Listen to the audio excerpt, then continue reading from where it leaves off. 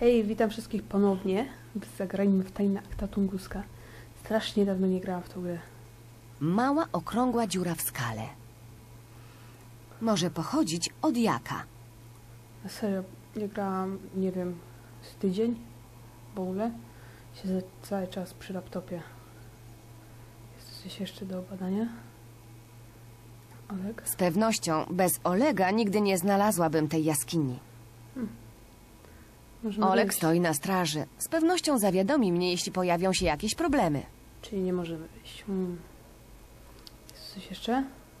Tam jest przejście dalej. A i tu już nie ma nic. W ogóle dwa razy.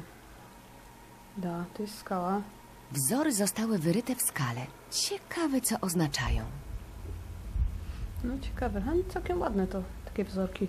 Też sobie coś takiego zrobię. Szkielet? Ten biedak musiał tutaj wpaść. Ciekawe, czy był członkiem ekspedycji mojego ojca. No ciekawe. Woda jest krystalicznie czysta i prawdopodobnie lodowata. No tak to zwykle jest z górskimi strumieniami. Są lodowate. Dobra, jeszcze skałę. Całkiem duża skała. Jest o wiele za ciężkie. Nie mogę tego przesunąć. Użyjmy dźwigni.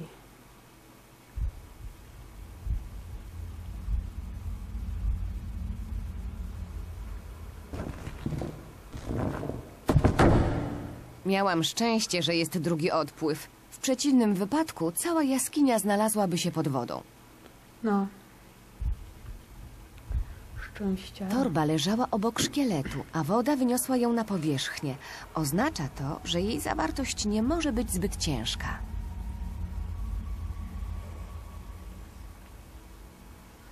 Podnieśliśmy torbę. Och, kość. Wow. A to jest klucz? Kość klucz? Możesz? Tu tutaj trzeba użyć? No, tutaj. Mogę bez problemu wepchnąć zatyczkę w szczelinę, ale nic się nie dzieje. Zaraz, zaraz. Znajdziesz niej tajemniczy klucz. Aha, musimy włożyć klucz tutaj na samym dole. Nie tak, tylko tak. Kość zahaczyła się o coś. Nie mogę jej wyciągnąć. Teraz chyba musimy znowu tam wrócić. Tak, tajemniczy pokój, przejście. Hu, hu, hu, aha, aha. Ten pokój emanuje dziwną atmosferą. Nie mogę dokładnie tego opisać. Nierzeczywisty? Tak jakby wchodziło się do innego świata. No, trochę takie wrażenie sprawa. Sprawia, tam była woda, to jest wulkan. Te Super. linie i okręgi wyglądają niemal tak jak szkice Manuela Pereza z Kuby. W ogóle mogę się, może się trochę przesunę mikrofonu. Głowa została wykuta w kamieniu. Jest jakby wpół do 11 w nocy i wszyscy u mnie w domu śpią. Więc nie powinnam mówić zbyt głośno. Przedstawia upadek wielkiego, bezkształtnego obiektu. Połamane drzewa przypominają nieco zdjęcia z rejonu Tunguski po katastrofie z 1908 roku. Mali ludkowie uciekają do jaskini przed ogromnym, bezkształtnym obiektem. Super. Już zbadałam. Na górze jest światło, symbole. Dobra, podejdźmy do kamiennej płyty.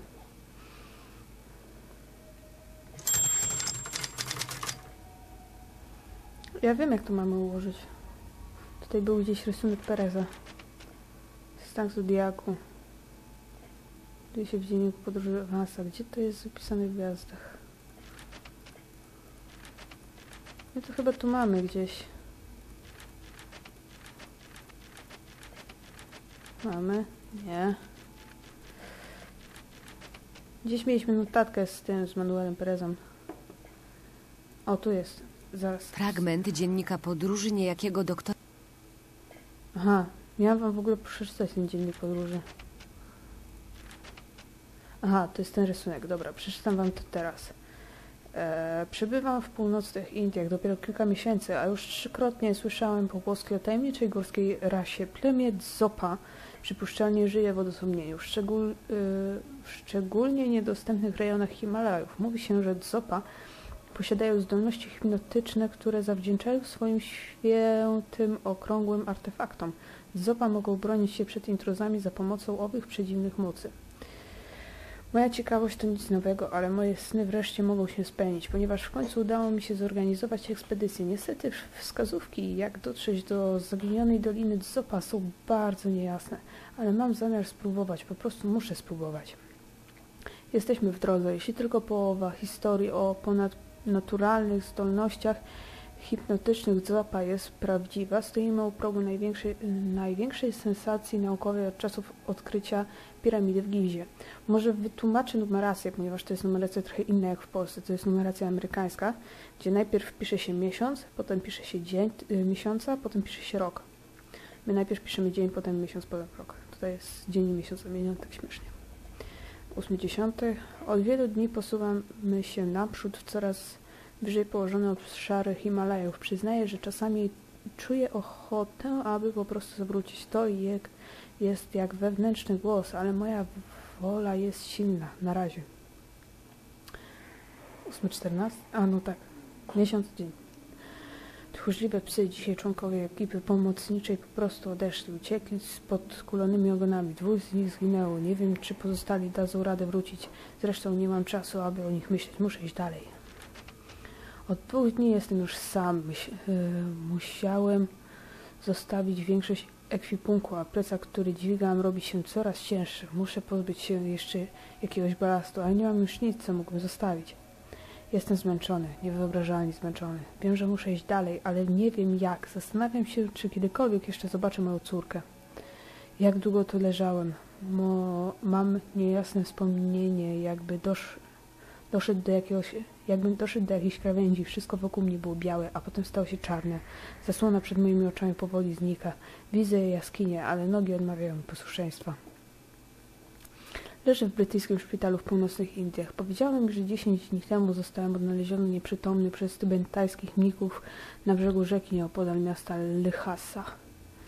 Ponieważ miałem wysoką gorączkę, mnisi zaopiekowali się mną i następnie przywieźli do szpitala wojskowego.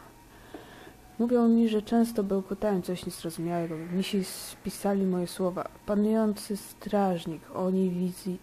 O, a nie, on widzi wszystko i przychodzi z daleka. Cóż znaczą te słowa? Co to za dziwny szkic na odwrocie dziennika, który najwyraźniej sam sporządziłem? To chyba jakiś znak zodiaku. Usilnie próbuję sobie przypomnieć, ale po prostu nie potrafię.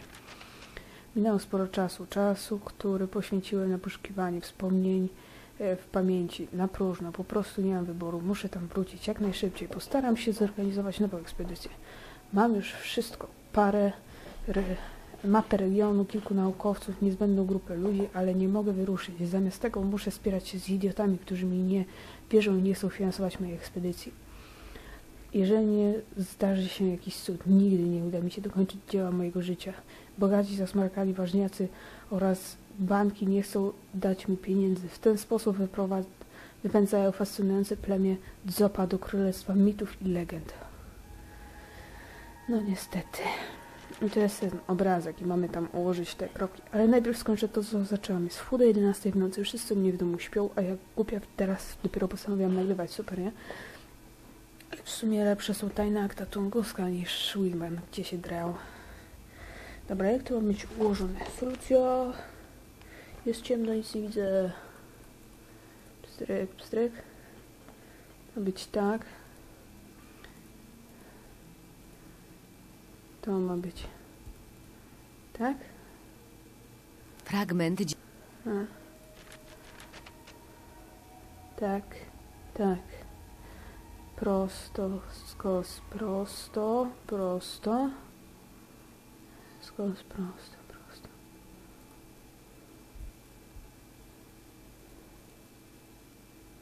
Zaraz, sekundę.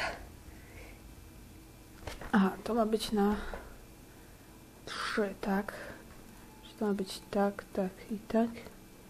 Tak i tak. Najproszę bardzo. Niezwykły dysk. Wygląda raczej niepozornie. Jest ciepły. Mam wrażenie, że emanuje z niego jakaś dziwna energia. Pokażę to Olegowi. Może on będzie miał pomysł, co z tym zrobić. Aha, już, dobra. Oleg, właśnie cię szukałam. Naprawdę ci się udało. Gratulacje. Nie pomyliliśmy się co do ciebie. Dzięki. Co masz na myśli mówiąc... Au, Wyjaśnię to później. Mój szef czeka. Beole. Kamborski do stacji, proszę o pozwolenie na lądowanie. Aha, Olek! Słyszałem, że udało ci się znaleźć ten metalowy przedmiot. Witaj, Sergiej. Tak, wszystko poszło zgodnie z planem. Dziewczyna była naprawdę niezła. Doskonała robota! Szef będzie zadowolony. Co z nią zrobimy? Polecenia szefa były jasne. Czy to było konieczne? Szkoda takiej niezłej babeczki, ale przy odrobinie szczęścia może się zahibernuje w lodzie. A teraz włącz wodę. W porządku.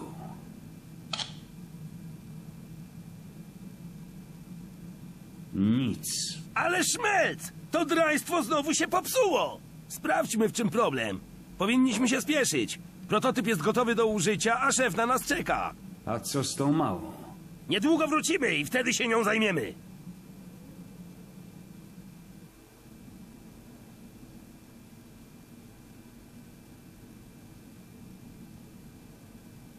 Brakuje części. Wygląda jakby została wyrwana. Sabotaż? Możliwe.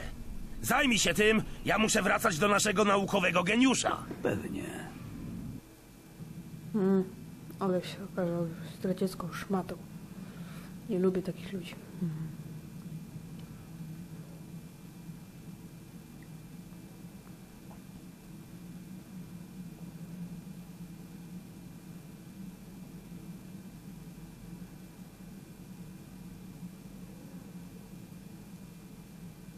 O Boże, boli mnie wszystko i jestem zmarznięta na kość. Gdzie ja w ogóle jestem? Pamiętam jak przez mgłę, że Olek mnie ogłuszył. Ale dlaczego? Jedno cię Naprawdę myślałam. myślałam, że mogę mu ufać. Jeszcze jeden nietrafny osąd. No niestety. Ten przedmiot pomaga przepchać zatkane toalety. Weźmiesz go ze sobą. Będzie ci potrzebna koleżanko. O, zabieraj, zabieraj. Kamera wideo w łazience? Nie chciałabym brać tutaj prysznica. Nie mogę dosięgnąć. To raczej nie jest łazienka do brania tutaj kąpieli. Wanna z bąbelkami, Chociaż kieliszek nie, są wina, tak. przystojny masażysta. Chcę do domu. Ojej. Woda nie płynie. Wow. Okej, czy to jest jeden element, tak? Jest tutaj coś nie... Papier toaletowy w tym miejscu? I tutaj gdzieś musi być toaleta Bardzo w takim razie. i puszysty, trzywarstwowy. O. Róż, tyłek Nina. Masz bardzo ładny, trochę przerośnięty, ale róż go z miejsc, znaczy z ten, z. I madło. Standardowe wyposażenie każdego warsztatu posiadającego przynajmniej połowę sprzętu, który potrzebuje. Okej. Zanim policzę do trzech, wszystko już będzie zapakowane. Mhm. Uchwyt tokarski, zidentyfikowany przedmiot i silikon. Metalowa tablica.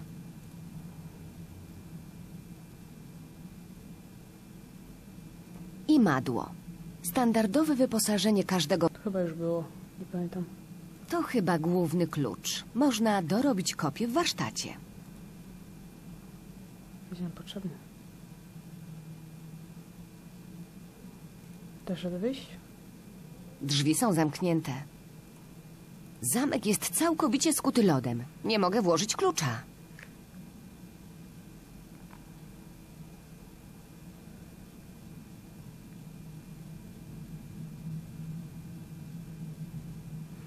Okej, patrzę teraz cały czas w ten. Jajo jest widoczne przez szklaną płytę. Urządzenie prawdopodobnie otwiera się za pomocą poleceń klawiszowych.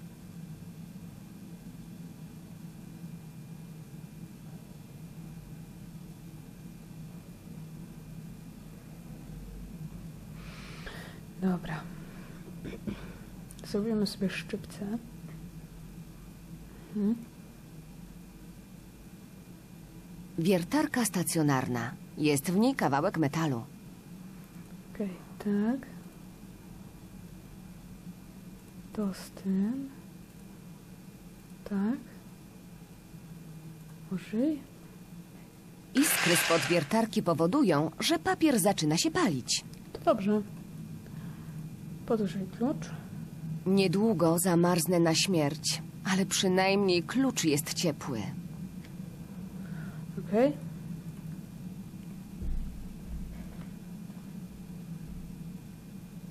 Gorący klucz topi lód. Zamek jest otwarty. Okej, przejdźmy dalej. Najpierw tutaj. O, to mi wygląda na jakiś pokój kontrolny. A co jest tam na dole?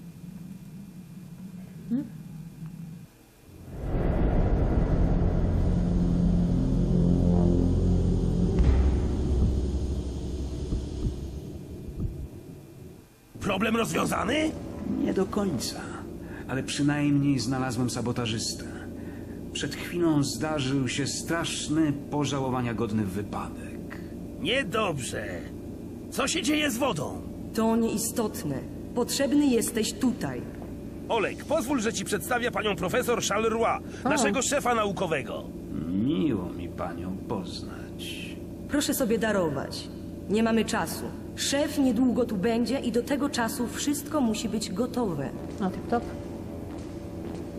O Jezu. To znaczy ładnie. Olek, Sergiej i ta Nicole Charleroi to banda największych łotrów na ziemi. Naprawdę kusi mnie, aby wyskoczyć przez okno i posłać wszystkich ich trzech do... Ale co oni tam robią? I co to za maszyna? Nie jestem pewna, co tu się dzieje, ale na pewno nic miłego. I to wiem, jeżeli tylko nadarzy się najmniejsza okazja, pokrzyżuję im plany. Z jednym Olegiem nie mogę sobie dać rady, a chcę się rzucić na całą trójkę, nie? Obejrzyjmy sobie. To wszystko jest nieprawdopodobnie skomplikowane. Przynajmniej dla kogoś, kto wie nieprawdopodobnie mało na ten temat. Jest tu trzy tysiące przełączników i żaden...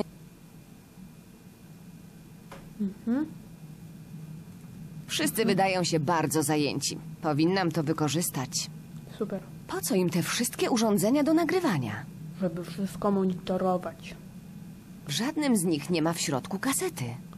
Straszne. Wyłącz światło. Szukaj. Materiały wybuchowe. W środku jest materiał wybuchowy.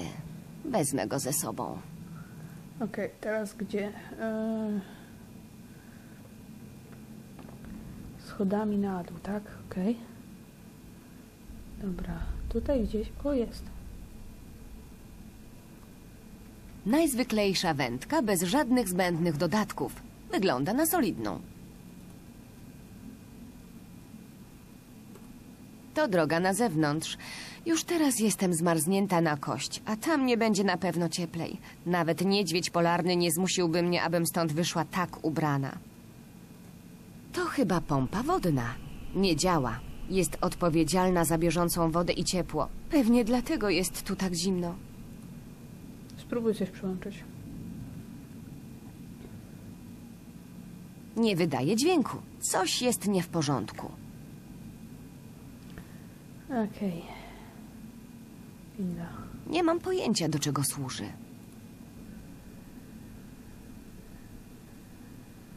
Nic się nie dzieje. Może włącznik jest zepsuty? Winda towarowa nie jest zbyt stabilna. Jeden z kabli jest zniszczony, a drugi wygląda tak, jakby miał zaraz dokonać żywota. Platforma jest zbyt wysoko. Nie dosięgnę jej. Jest coś jeszcze, co możemy obadać? Tam są schody, maszyna. Inna. Okej. Teraz tak. Tak? Może podniosę jedną z tych lżejszych paczek?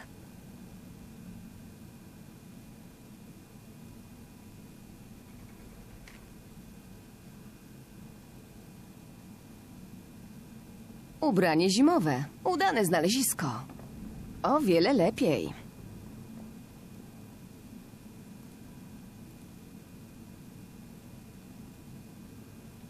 Musimy użyć dwa razy, ale ja użyję trzy. Przynajmniej w subcji piszę dwa razy. Ciekawe, co mi wyjdzie za trzecim razem. Kapsułki do prania. Pozostałe przedmioty na platformie są zbyt ciężkie, aby podnieść je za pomocą wędki. Okej. Fajnie, że od razu ma też buty zimowe i spodnie chyba też inne. I rękawice. To miała być leczka. Niech ktoś mi powie, żeś nie. Tylko gdzie ja jestem? Na Antarktyce? Nikt nigdy mnie tu nie znajdzie. Mogę o tym zapomnieć. Okej. Wiadro. Dziesięciolitrowe wiadro. Weź za sobą. Mam nadzieję, że nie jest przymarznięte. Jej. To jest to. Budowa stacji prawdopodobnie kosztuje kupę pieniędzy. Ktoś musi liczyć na duże zyski. Ogromne pole pełne zabawnych rzeczy. Wśród nich są anteny. Tylko po co? Aby odbierać sygnały? Nadawać sygnały? Zużycie prądu musi być wprost ogromne. Po Tutaj jest przejście, nie? Tu jest... Tu jest... Jak oni wnieśli tu cały ten sprzęt? To musiało być wielkie logistyczne przedsięwzięcie. Trochę podgłośniłam mikrofon. Mam nadzieję, że mi będzie teraz lepiej słychać. O, tu też po lewej jest, a my idziemy po prawo. Wow, stary kuter wielorybniczy, kompletnie pokryty lodem.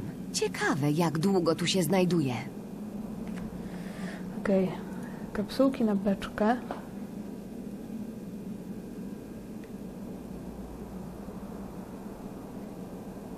Mhm. Okej, mamy nasiąknięte olejem wielorybniczym. Stacjonarny harpun ma niesamowitą siłę przebijania i w miarę spory zasięg operacyjny. Do czego mam strzelać? Nie ma w zasięgu żadnych potencjalnych celów. Osobiście nie zapatruję się za ciekawie na... Kurtka jest zamarznięta. Coś jest w bocznej kieszeni.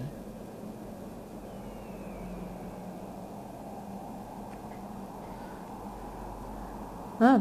Chyba nie ma w niej wódki, ale przy takim zimnie nie pogardziłabym whisky, jeżeli tylko udałoby mi się wyjąć ten przeklęty korek z butelki.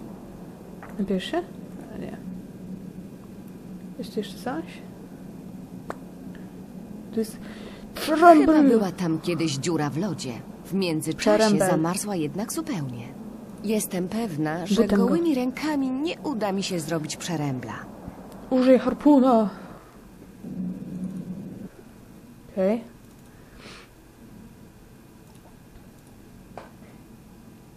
W ten sposób pozostawiam za sobą jeszcze jeden ślad zniszczenia. Jesteś okropna.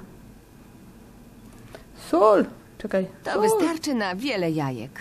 Jeju. I niby gdzie mam to upchać? Nie mogę nieść aż tyle. A 10-litrowe wiadro i bombę możesz przy sobą nosić. Przy sobie, przepraszam. Co tu jest jeszcze? Nic ciekawego. Okej, ponownie udaj się w okolice kutra. Aha. Dobra, wracamy. Roztopimy sobie w szoremble.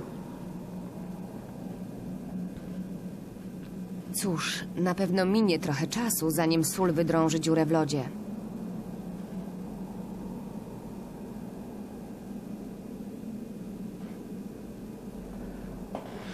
Muszę sobie pilnować, ponieważ tę kartkę z rodzicami mam dość gęsto zapisaną. I trochę się gubię, okej. Czajmy. Pingwin chyba na czymś siedzi. Prawdopodobnie coś wysiaduje. Znak ostrzegawczy. Uwaga, stromo.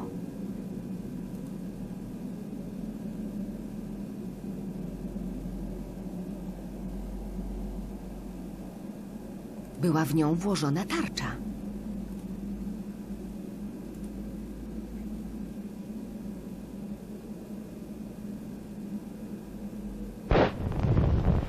Wow, ale wybuch! Chyba wywołał małą lawinę, ale pingwina raczej nie przestraszył.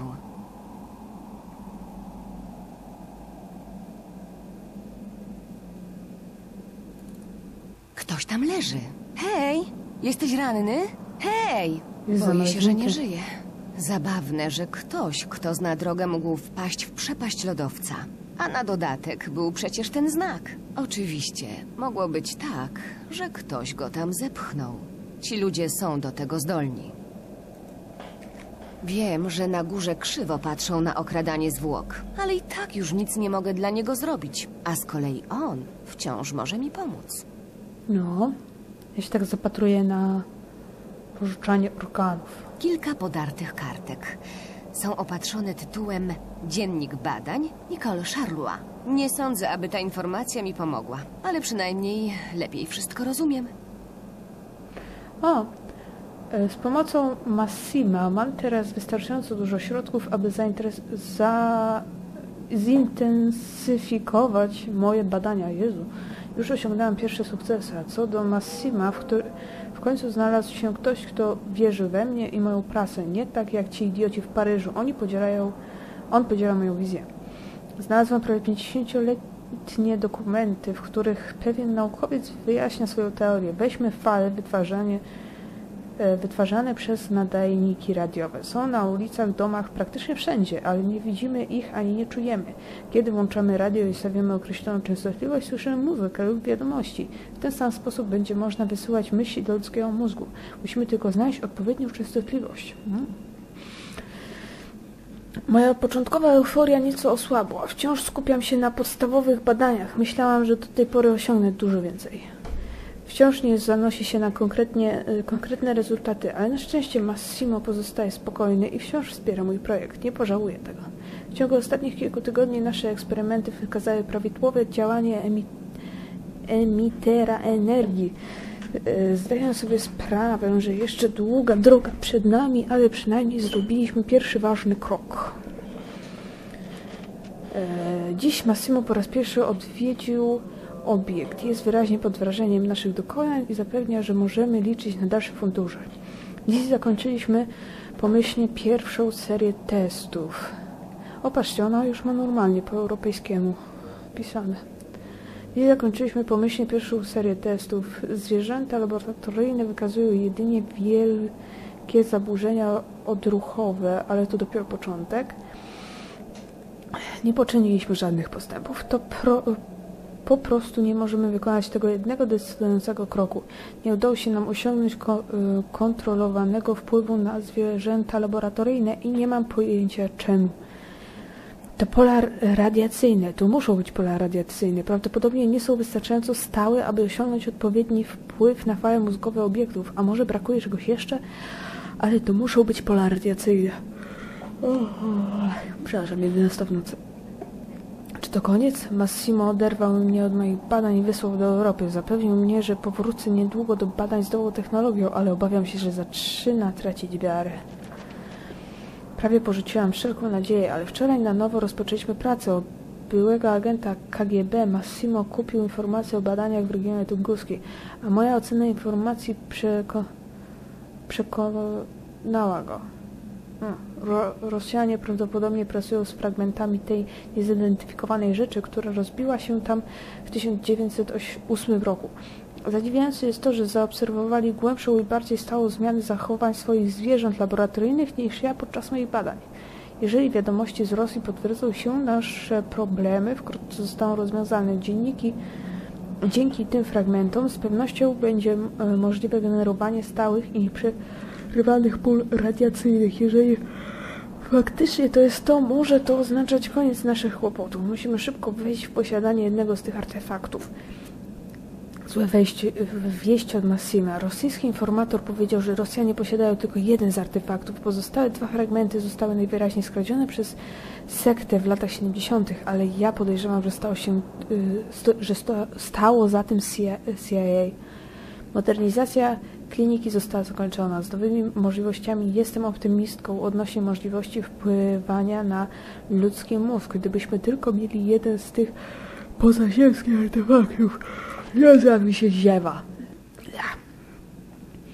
Natknęłam się na interesujący przypadek związany z informacją, którą sprzedał nam rosyjski informator. Młody kubański naukowiec Manuel Perez w 1977 roku był przypuszczalnie członkiem wyprawy w regiony tunguski. Prawdopodobnie od tego czasu zaczął wykazywać skrajne problemy psychiczne i behawioralne, ponieważ w regionie prowadzono ówcześnie badania z tymi artefaktami. Jego choroba może mieć z tym związek. Powinnam baczniej przyjrzeć się temu Perezowi.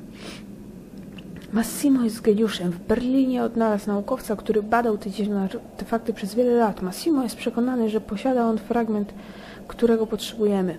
Stary naukowiec zniknął bez śladu. Ktoś porwał go nam sprzed nosa. Być może ktoś, kto ma identyczny cel jak my. Ale Massimo ma nowy plan. Aby osiągnąć nasz cel, zamierza wykorzystać córkę naukowca. Brzmi to nieco ryzykownie, ale może się udać. Ej! Tu chyba o mnie mowa. Zapalniczka? Zapalniczka na benzynę. Ale niestety brak w niej benzyny. Oczywiście. Patrząc abstrakcyjnie, amulet przedstawia głowę.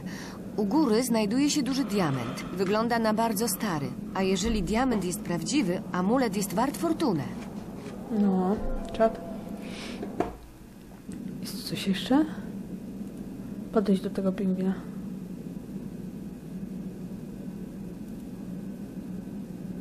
Phy. Nie możesz mu nic zrobić. Super. Dobra, wracamy tutaj. Musimy iść tu. Tak i tak.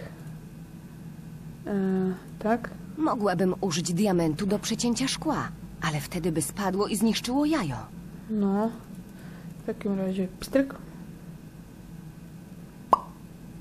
Pstryk. To zawsze wygląda prosto w kryminałach. Przepychacz na szkło, obrysować diamentem i... Naprawdę proste. Równiusieńka, okrągła dziurka ci wyszła, tak? Dobra, co teraz? A...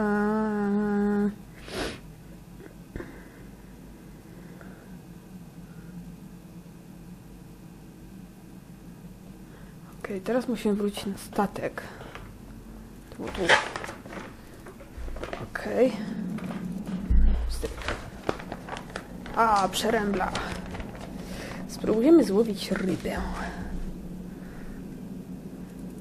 I to będzie tak. i Zapalniczka może posłużyć za sygnał świetlny i źródło światła. Dwa w jednym. Warto spróbować. Tak. I teraz tak.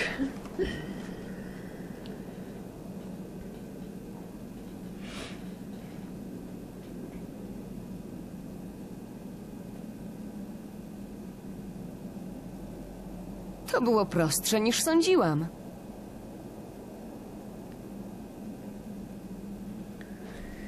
Okej. Wracamy do pingwina. Może uda mi się odwrócić jego uwagę za pomocą ryby.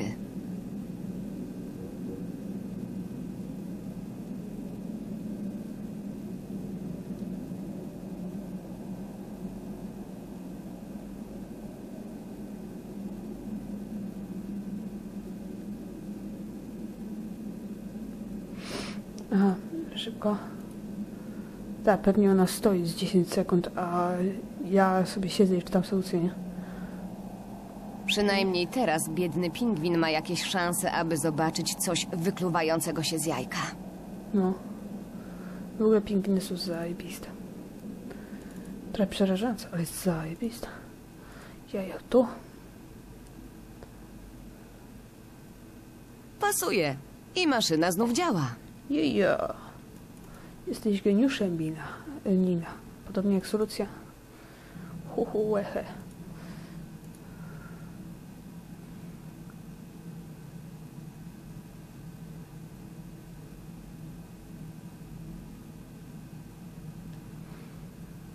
Aha, już wywróciliśmy. Nie, jeszcze nie. Musimy włączyć. Przepraszam. Staram się nadążać z żeby się Wyciągnięty z fasonem. żeby się nie zacinać. Ale oczywiście się zacinam, bo czytam. Żeby się nie zacinać oczywiście. Zatykam wannę. Pasuje idealnie do otworu odpływowego. To powinno zapobiec wypływaniu wody. Aha, okej. Tak, tak.